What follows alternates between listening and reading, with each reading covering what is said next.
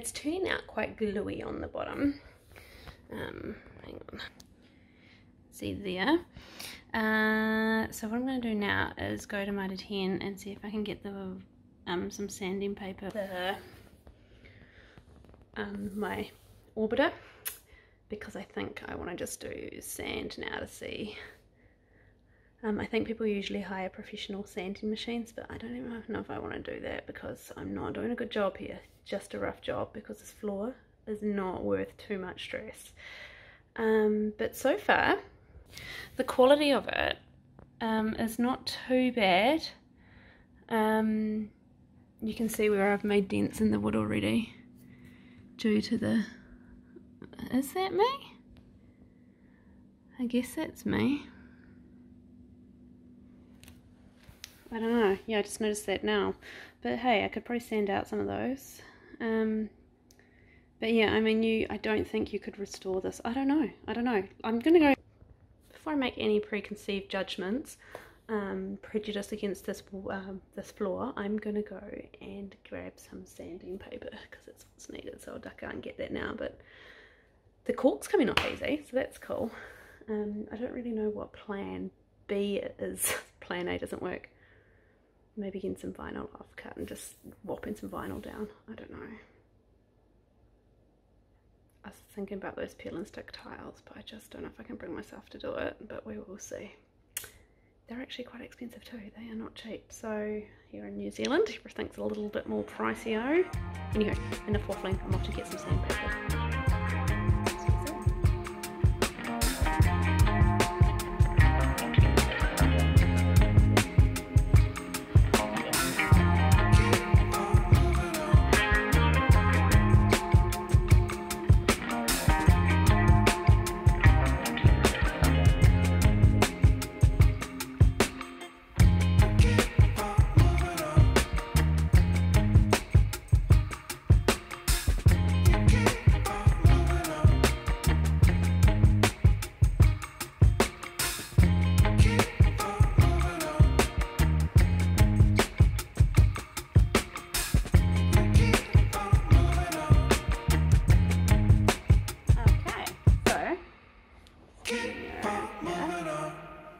Is some, the light's not very good here, but some gorgeous looking wood under here.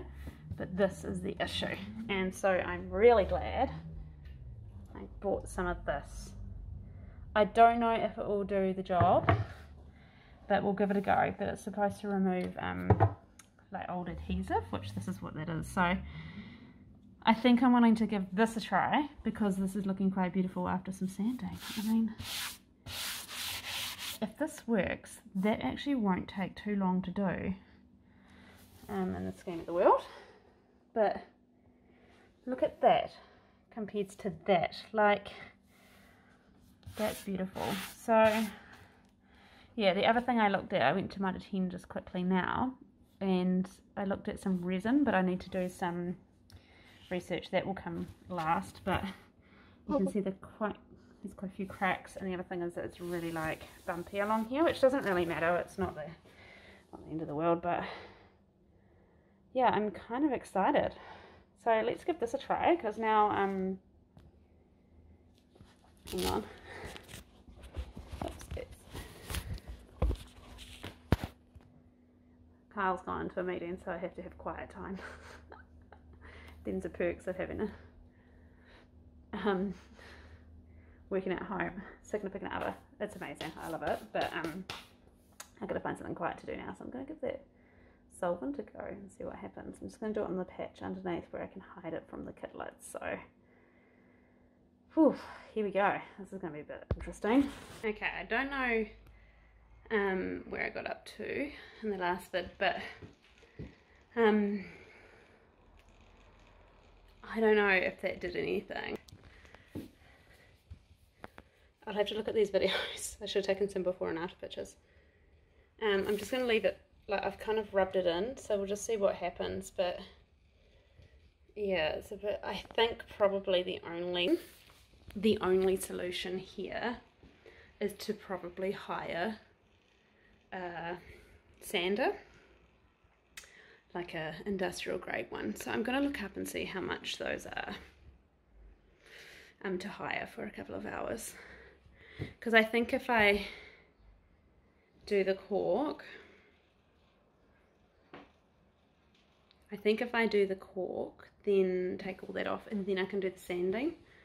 Um, so I might do a little bit of more research about what that looks like or how much that is. And yeah, because that orbiter sand is going to take far too long. And then the cork, it's just, it's not powerful enough for that adhesive. So yeah, but I mean it's, I know you're under there. Um, but yeah. Just a little bit disappointed because I thought that I might have that patch clear. But these are what you this is what you learn when you're renovating. Nothing is ever easy. Nothing is ever straightforward. And nothing is free.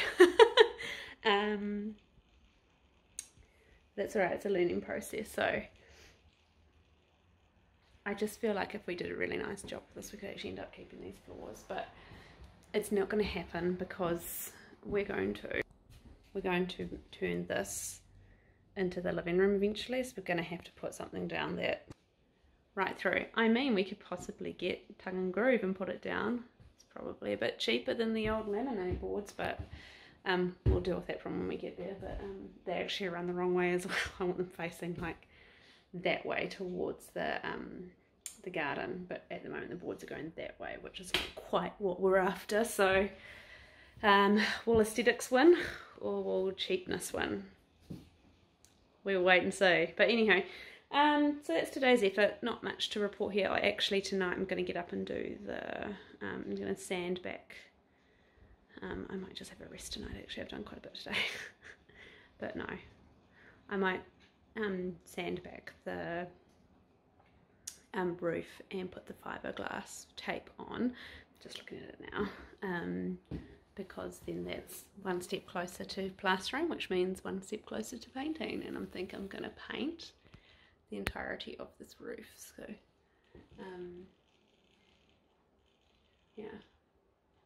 I think it will be good to paint it actually. Um, I think it will really cheer and cheer the place up. But um, I have to wash it first, so that might be another job as well for a night time. Um, all these are really good nighttime activities because they're not noisy for my little ones.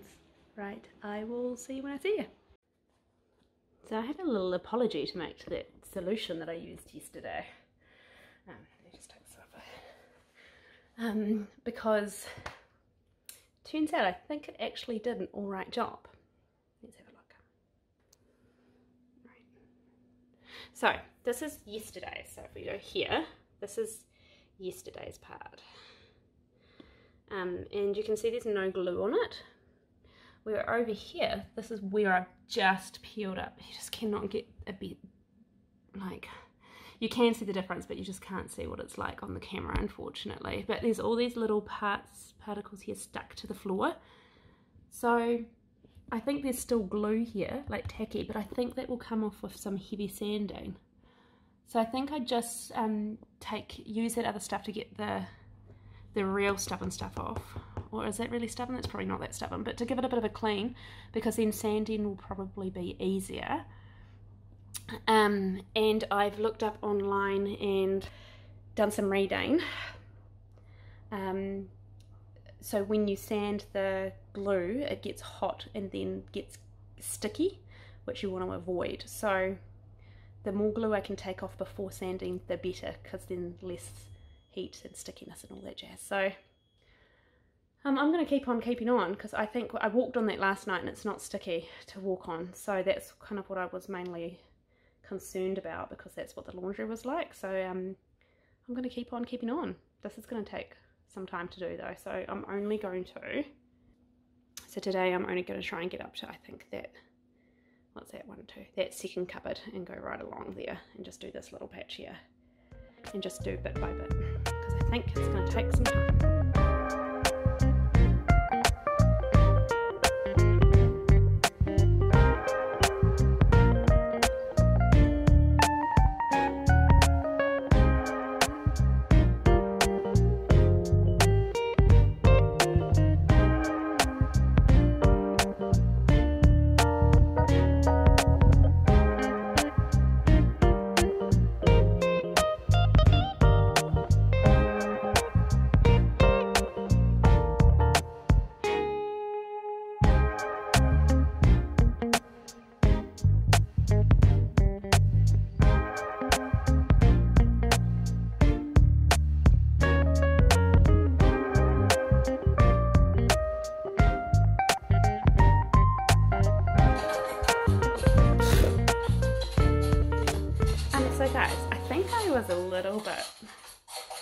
Impatient with the process. Impatient with the process. I think got the right word there. Um, because a look at this. Sorry, I don't think my mask is working. Look at that. How cool is that? So that's the original wood. So this is going to be Matai or Rimu, which is just gorge. It's going to take some time, so I think I'll get a professional sander. And yeah, I need to put my mask back on. I can breathe in the shit. Anyway, I'm going to keep going. I'm not going to record all this because who needs to see me doing this for hours on end. But I'll show you where I get up to today.